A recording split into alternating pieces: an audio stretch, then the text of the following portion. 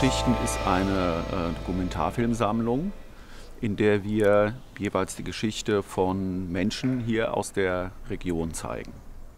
Wir dozieren mittlerweile seit mehreren Jahren Film an der DHBW Mosbach im Studiengang Online-Medien und mittlerweile sind so viele schöne kurze Dokumentarfilme entstanden, dass Professor Thomas Wirth die Idee hatte, dafür eine Plattform im Internet zu erschaffen. Ja, bei dem Film handelt es sich durchweg um Porträts von Menschen rund um Mosbach und in Mosbach.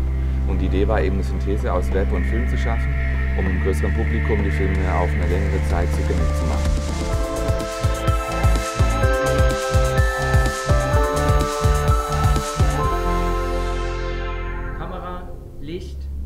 Das Medium Film ist natürlich ein sehr umfassendes Medium, wo es auf ganz viele verschiedene Dinge ankommt, von der Kamera bis zum Schnitt, von der Dramaturgie äh, bis zur letztendlich Menschenkenntnis. Man muss recherchieren, man muss äh, Menschen hinterfragen, äh, Situationen lesen können.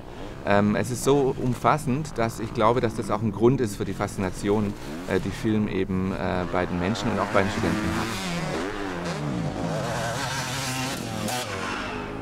In den Filmen gibt es ziemlich viele verschiedene Persönlichkeiten.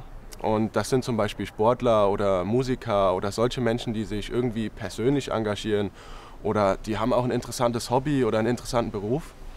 Und das Tolle daran ist eigentlich so, dass man die Menschen oder solche Menschen überall auf der Welt finden kann.